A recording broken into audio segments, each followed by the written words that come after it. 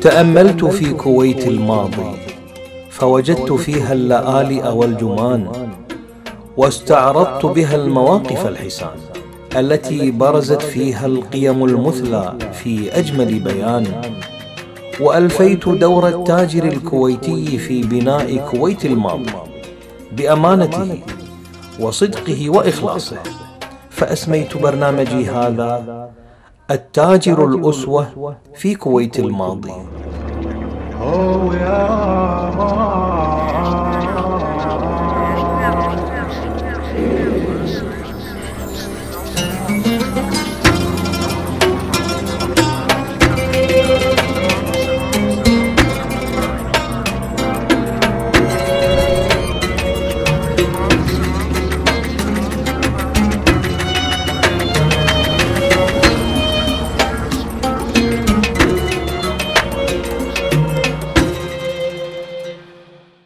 الحمد لله رب العالمين والصلاة والسلام على أشرف المرسلين محمد بن عبد الله وعلى آله وصحبه أجمعين.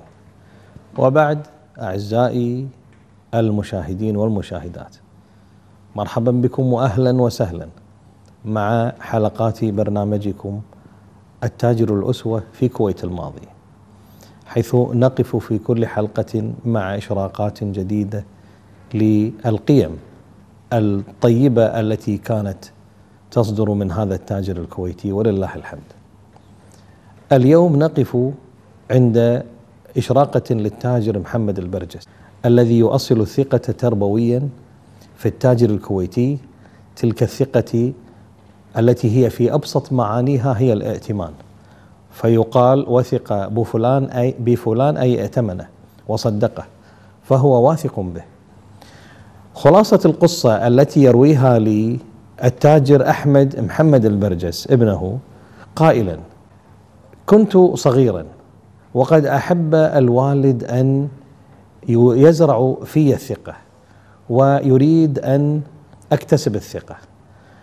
أتيته يوما من الأيام وهنا أشرح خلفية هذه القصة وقلت له يا والدي لقد تعلمت منك الكثير. ولله الحمد أردت أن أستقل بعملي الخاص وأكتسب الثقة كما كسبتها. لما أردت أن أستقل بعملي الخاص واستأجرت محلا بالسوق، ذهبت والدي رحمه الله في منزل الأسرة وأبلغته أنني ولله الحمد واقتداء به أجرت هذا المحل. وبينما أنا كذلك وفجأة من حيث كان الحديث أمرني والدي بإحضار كأس من الماء.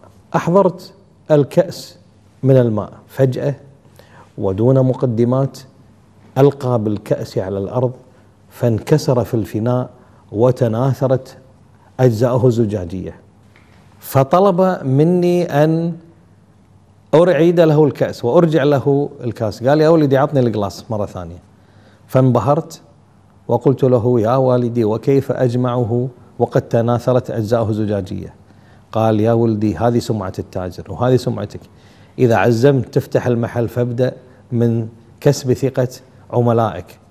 فإذا التجار الآخرين وزبائنك والعملاء فقدوا يوما من الأيام الثقة فإنها لن تعود من جديد كما كانت. فهذه القصة منذ عشرات السنين وأنا في بداية شبابي ومحاولة عملي التجاري المستقل كانت عالقة في ذهني ومحفورة في مخيلتي وذاكرتي. وكانت ولله الحمد نبراسا لي للحفاظ على الثقة. مهما كانت التضحيات ومهما كانت الفرص التي تفوتني إنما أنا أكون حريص على هذه السمعة. فكان فعلا ما نسميه في عالم التربية الموقف التربوي أو ما نسميه التربية بالموقف. على صعيد آه، نقف عند التاجران آه، من أسرة الخالد والشايع اللذان يؤصلان أهمية السمعة الحسنة للتاجر الكويتي. كيف لا؟ وقد اهتم الإسلام اللذان استهدايا بهديه أهمية بالغة بالسمعة الحسنة وحرص عليها لأنها عنوان المؤمن الحقيقي. وليس أدل على ذلك من أهمية السمعة الحسنة أن أنبياء الله جميعا عليهم الصلاة والسلام كانوا أصحاب سمعة حسنة في أقوامهم وبين عشيرتهم وكيف لا وقد ورد على لسان إبراهيم الخليل عليه السلام واجعل لي لسان صدق في الآخرين. وفي الحوار الذي كان دائرا بين أبي سفيان وهرقل خير دليل على سمعة النبي صلى الله عليه وسلم في قومه فقد روى البخاري في الصحيح عن ابن عباس أن أبا سفيان بن حرب أخبره أن هرقل أرسل إليه في ركب من قريش وكانوا تجارا بالشام في المدة التي كان رسول الله صلى الله عليه وسلم يقوم فيها بالتجارة. فقال لتجارة خديجة بنت خويلد قال فيها أبو سفيان وكفار قريش فأتوه وهم بإيلياء فدعاهم في مجلسه وحوله عظماء الروم ثم دعاهم ودعا بترجمانه. وأنه سأله أيضا ماذا يأمركم قال يقول اعبدوا الله وحده ولا تشركوا به شيئا. واتركوا ما يقول آباؤكم ويأمرنا بالصلاة والصدق وهنا محل الشاهد والعفاف والصلة. وهكذا كانت شهادة أبي سفيان وهو أيامها ما كان ما زال على الكفر قبل أن يسلم.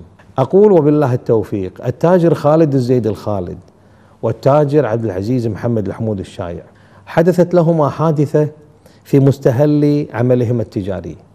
يقول العم عبد العزيز محمد الحمود الشايع في كتابه من أصداء الذاكرة والتي لا زلت أشكره على توثيقه وأقول أنه قدوة حسنة للتجار الكويتيين الذين وثقوا تجارتهم ولذلك قد نلاحظ استشهادات كثيرة في برنامجنا هذا من هذا الكتاب لأنه فعلا يمثل قدوة حسنة في توثيق التجارب الإيجابية الرائعة. يقول عندما كنت صغيرا وفي بدايات عملي بعت قماشا لأحد محلات تجزئة الأقمشة أقمشة النساء بالذات. وبعد عدة أيام رفض المشتري استلام البضاعة مدعيا أنها تختلف عما تم الاتفاق عليه في ورقة سند البيع. وهذا بصراحة خلاف الواقع. فاتفقنا أن نذهب إلى محكم لأنني لم أوافقه على ذلك. وكان المحكم هو التاجر خالد الزيد الخالد رحمه الله. فما كان من التاجر خالد الزيد الخالد إلا أن صرف المشتري وقال له اذهب وتوكل على الله وأنا سأكمل الحديث مع عبد العزيز الشايع. يقول شوفوا الحكمة يا أخواني وأخواتي وشوفوا الطريقة التي عالج فيها هذا المحكم يسمونه السالفة خالد زيد الخالد. يقول لعبد العزيز الشايع وهو شاب صغير يقول له يا ابني لو كان هذا الموضوع يعرف عنها عنا والدك يقصد محمد الحمود الشايع لما قبل أن تأتي إلي للتحكيم. فالشايع يا ابني عائلة كبيرة عائلتك عائلة عريقة في التجارة ليس هذا أسلوبهم في العمل. عندما يختلفون لا يأتون إلى التحكيم ويشترون سمعتهم. والدك لا يقبل أن يضغط على مشتري إذا كان لا يرغب في إتمام الشراء. وحتى إن كنت محقا طالما أنه أعاد إليك أموالك بالتالي أنصحك يا ولدي. حتى لو كان لديك الحق أن تتنازل عنه وتأخذ مالك والله يعوضك في بيعة أخرى. ولا تتخاصم ابدا مع مشتري ابدا. سمعتك هي رأس مالك يا ولدي. هنا نقف بصراحة عند هذه الحكمة. وكيف ركزنا في هذه الحلقة؟ في بدايتها مع التاجر محمد البرجس فيما رواه ابنه أحمد محمد البرجس.